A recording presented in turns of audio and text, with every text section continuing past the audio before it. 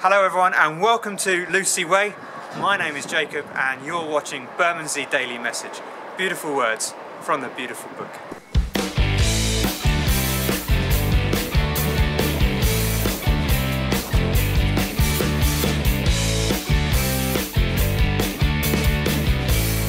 Well, some of us went to Tesco's or Aldi the other day, and uh, well, we are in a bit of a panic because of the virus, and so you bought all of the blue rolls, all the cereal, all the fruit and veg. I know, I went shopping, and I panicked a bit because there was nothing left. I went home with some tin pineapples and a few other bits and bobs, and it might be that you're worrying right now. It might be that you're anxious about how you're going to look after your family, how you're going to cope. Well, if that's you, listen to these words that Jesus once said. He said, don't start worrying. Where will my food come from, or, or my drink, or my clothes?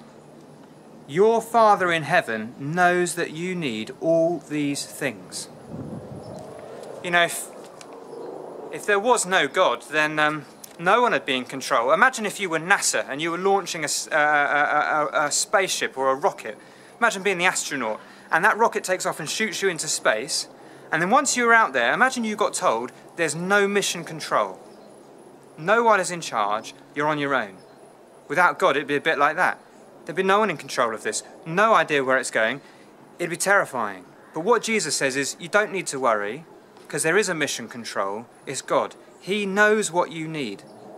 These shops might be empty, you might struggle a bit, you might face some hardship, but when God looks down into your family home, He knows what you need.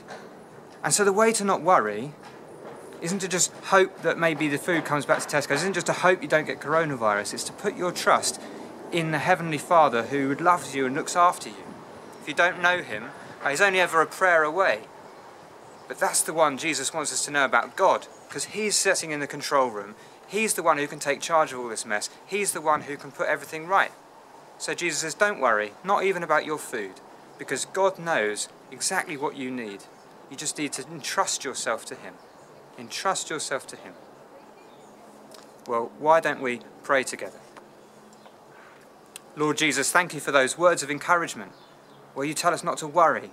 Thank you that there's a Father in heaven, like in mission control, who knows what's going on and He knows how to care for us. And we pray for ourselves and pray for the rest of Bermondsey, especially all the key workers working so hard at the minute, that you'd help them to remember that God knows what they, knows what they need. And we pray this in Jesus' name. Amen. Well, you've been watching Bermondsey Daily Message, and we'll see you again tomorrow on a different location somewhere else in Bermondsey.